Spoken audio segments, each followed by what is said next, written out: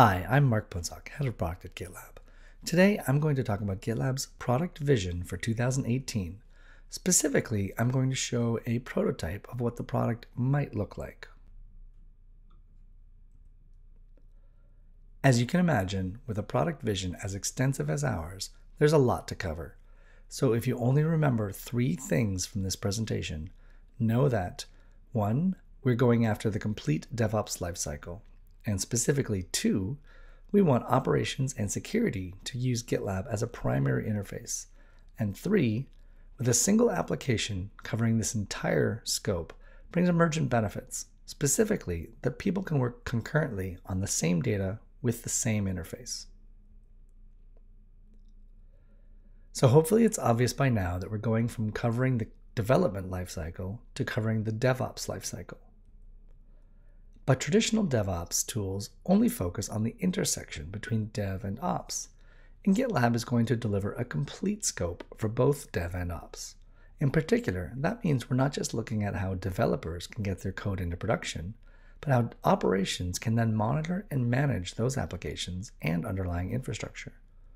A big milestone for GitLab will be when operations people log into GitLab every day and consider it their main interface for getting work done. But even that's not really sufficient, as we're redefining what the scope of DevOps even is. We're also covering security.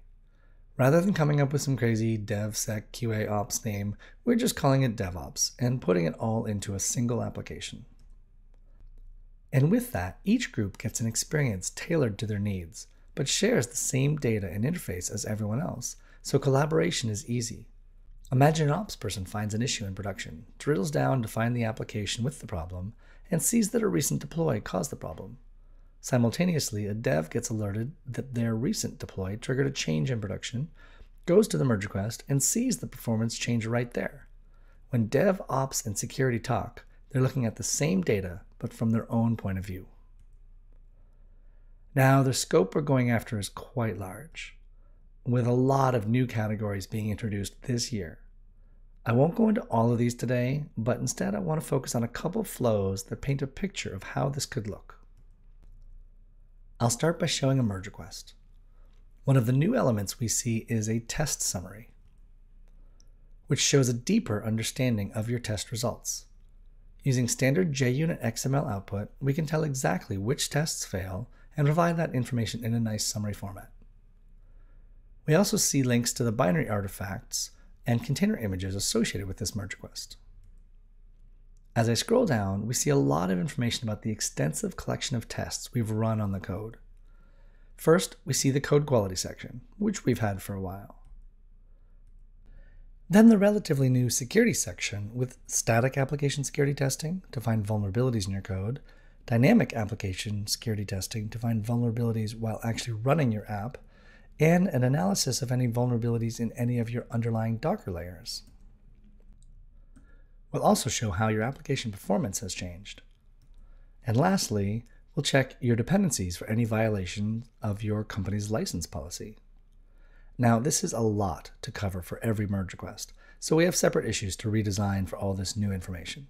But I wanted to show it all to you now to see how much we're doing automatically for you. Down below all of that is an enhanced code diff that highlights any code you should pay attention to because of code quality concerns or missing test coverage. This is all part of the shift left movement, where important quality, security, and performance tests that may have once been run manually, if at all, and usually much later in the development lifecycle, are now being run automatically as soon as the first code is written. There's a lot more planned, but this is a good idea of the direction we're going in to help developers get their ideas into production faster. But that only covers part of our vision, because there's also the operations point of view and a big milestone for our DevOps vision is when operations start using GitLab as their primary interface.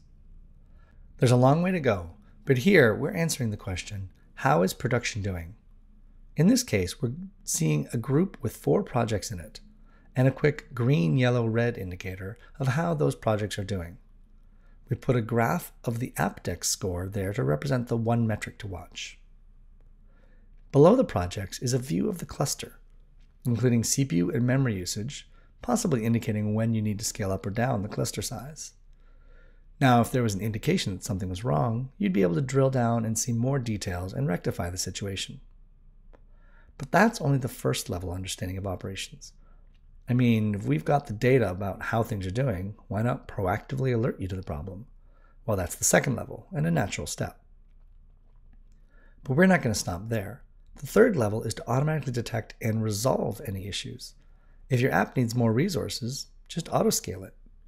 If you then hit a limit on the cluster, well, add a node to the cluster automatically.